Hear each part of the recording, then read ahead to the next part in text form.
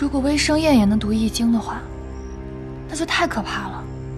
他曾经跟了老阁主那么多年，那他在上古易经里知道的秘密，恐怕比你们还要多。既然他看过我们那么多秘密，那我们也一定要知道他的。嗯，金库钥匙，你怎么拿到的？幸亏我留了一手。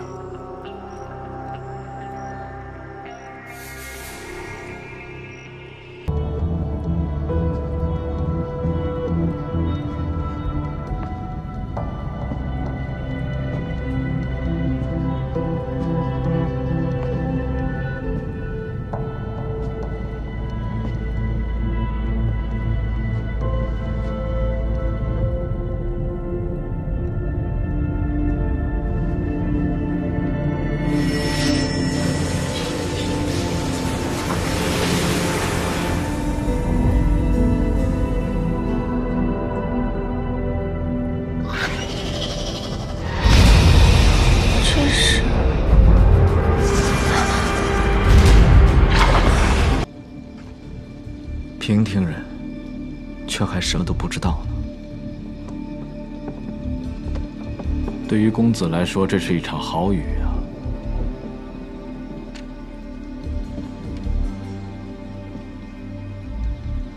神雨一事，是眼下你我的关键。我答应，我答应。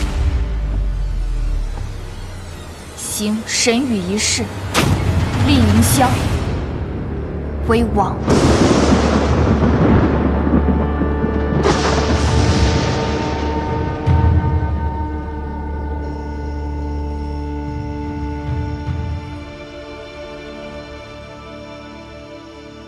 你想好了吗？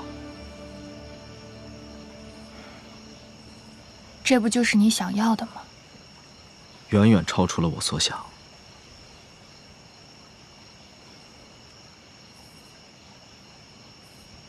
你能承受得了吗？我能。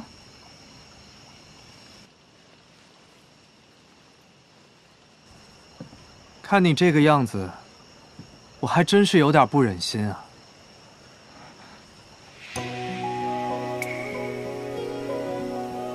梦辰，你总算是想通了。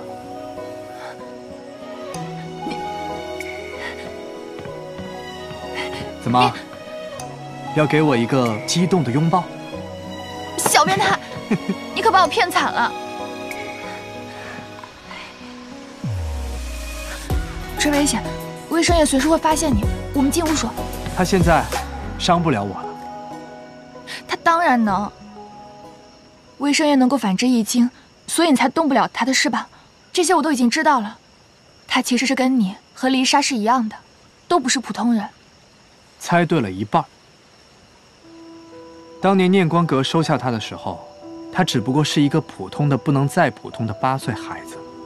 没想到，短短两年的时间，他就从老阁主的眼皮子底下，窥探到了上古易经的秘密。可你不是说，历代念光阁阁主的能力，是天生的吗？那，是，没有人知道，他是怎么做到的。后来呢？他知道的越多，也就越害怕，因为他知道，不管他再怎么努力，再怎么窥探，只要老阁主动一动手指头，他所有的谋划都会毁于一旦，甚至保不住自己的记忆。所以，念光阁存在一天。他便一日不能安睡，所以他才造出了能够反制易经的东西。